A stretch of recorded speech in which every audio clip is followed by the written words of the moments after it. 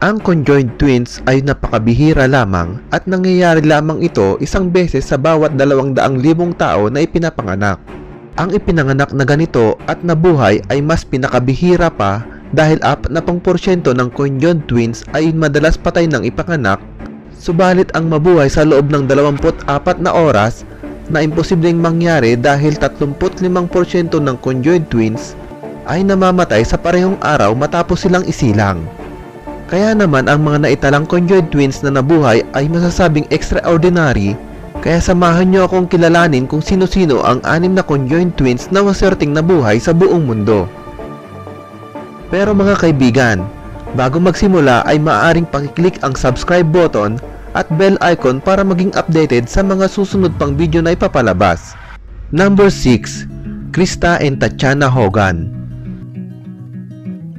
Si Krista at Tatiana Hogan ang pinakabatang conjoined twins dito sa ating talaan. Katulad ng ibang kambal, sila ay lumaban para mabuhay hanggang sumabot sila sa ganitong edad. Ang kambal na ito ay magkarugtong ang kanilang ulo at ang kanilang utak ay nagkokonekta sa tinatawag na thalamic bridge. Bukod dito, ang kamanghamanghang bagay sa kabila ng kanilang kondisyon, si Tatiana ay kayang makakita gamit ang mga mata ni Krista samantalang si Krista naman ay kayang makakita gamit lamang ang isang mata ni Tatiana. Sinasabing ang kambal na ito di umano ay kaya nilang marinig o malaman ang kanilang saloobin kahit na hindi sila nagsasalita.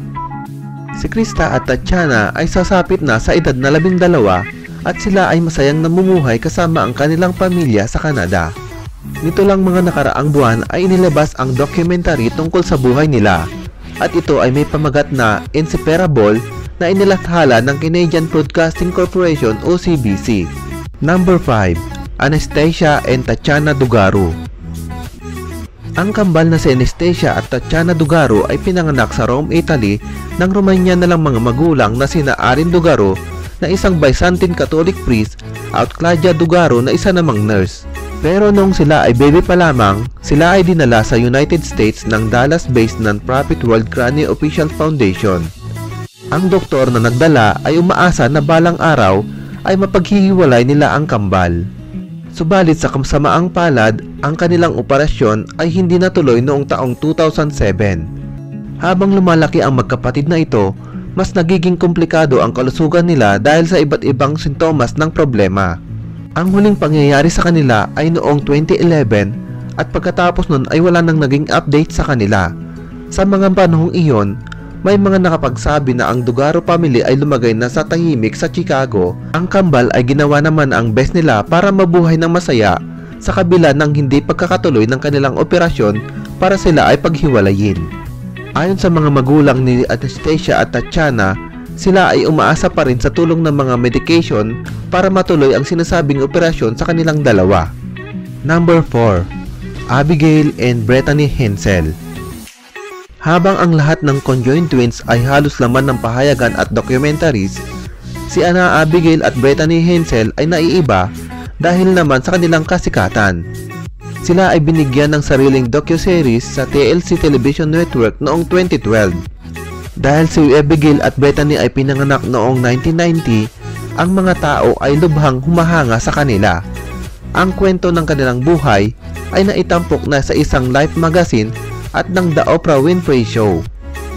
Sila ang kambal na pinakabihira sa mga conjoined twins at ang kilala sa tawag na Decepalic Parapagus na kung saan ang ibig sabihin ay may dalawang ulo sa isang katawan. Tulad ng ibang kambal, sila ay may kanikaniyang si personalidad. Sila ay parehong nag-graduate sa Bethel University noong 2012 sa kursong Education and Teaching Degree. Kung kaya naman sa kasulukuyan, si Abby at Bethany ay nagtuturo na bilang guro sa grade 5 student at namumuhay ng tahimik at malayo sa kontrobersya. Number 3. Ganga and Jamona Mondal Si Ganga and Jamuna Mondal ay mas kilala sa stage name na The Spider Sisters at sila ang pinakamatandang conjoined twin sa labas ng Amerika. Ang magkapatid na ito ay pinanganak sa India sa taong 1970 at hindi tiyak sa eksaktong araw ng kanilang kapanganakan. Ang mga tao sa kanilang lugar ay nag-aalok ng pera sa kanilang magulang at mga kamag-anak. Isang manager ng circus ang nagsabi sa kanila na maaari silang kumita ng maraming pera kung sila ay papasok bilang mga entertainer sa circus. Kaya naman dahil sa paghikayat na ito at sa sobrang kahirapan, nag-umpisa na silang maglakbay sa maraming lugar para magbigay ng kasiyahan sa mga tao. Ilang taon ang lumipas, ang kambal na ito ay naging laman ng mga pahayagan dahil pareho silang na-inlove sa iisang lalaki. Sa kabila ng hindi magandang tingin ng mga tao, ang kambal na ito ay masayang namumuhay kasama ang nag-iisa nilang love of my life na si Gahadar na pareho silang nagtatrabaho sa karnibal at sinabi ng kanilang boyfriend na pareho niyang mahal ang dalawa.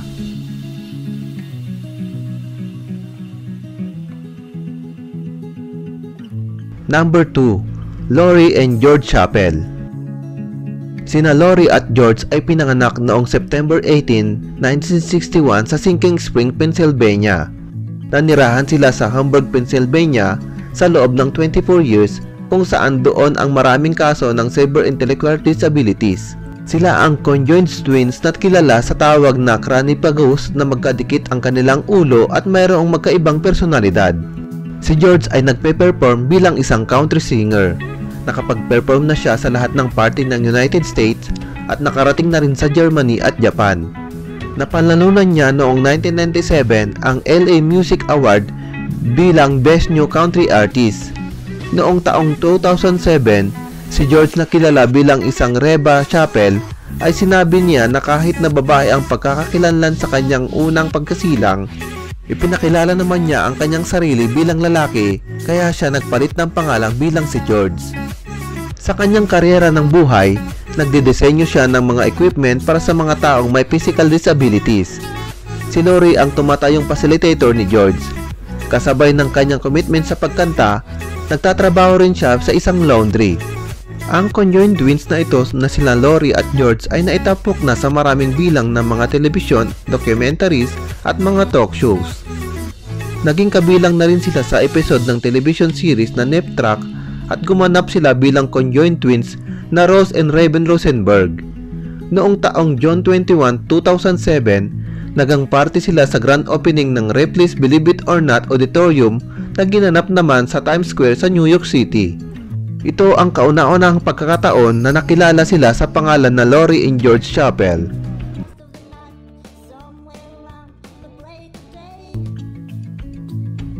Number 1. Donnie and Ronnie Gallion Idineklara sila ng Guinness World Record bilang pinakamatandang conjoined twins na nabubuhay as of October 29, 2014. Sila ay pinanganak noong October 1951 sa Dayton, Ohio. Ang kambal ay namalagi ng dalawang taon sa ospital at nadetermina ng mga doktor na hindi sila basta-basta mapaghihiwalay dahil lubhang napakadelikado. Habang sila ay lumalaki, hindi sila nakapag-aral na maayos dahil baka katakutan at kotsain lang sila ng mga kapwa nila mag-aaral kaya lumaki silang kulang sa pinag-aralan. Silang lahat ay siyam na magkakapatid para makalikom ng pera ang kanilang ama at masuportahan ang kanyang pamilya, nagdesisyon ito na ipasok ang kambal sa isang sideshow attractions o carnival na umiikot sa US na kalaunan naman ay sa Latin America.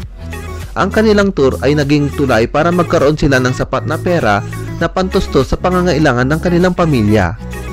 Ang Galyon Twins na ito ay naging carnival entertainer sa loob ng 30 years at nailathala na rin sila sa mga balita at telebisyon. Sa kasalukuyan, si Ronnie at Donnie ay retired na at nakatira sila sa nabili nilang bahay mula sa kanilang mga kinita mula noong sila ay entertainer pa lamang. Kahit na retired na sila, mayroon pa rin silang mga pagkakataon na lumalabas sila sa maraming show sa telebisyon.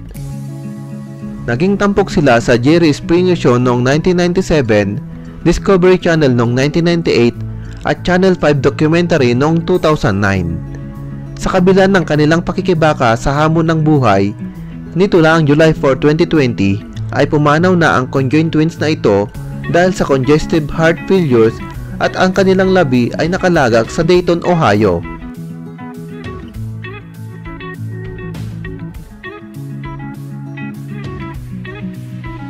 Sana ay nakapagbigay ako ng konting impormasyon sa inyong panunood at magbigay kayo ng suggestion o komento sa ilalim.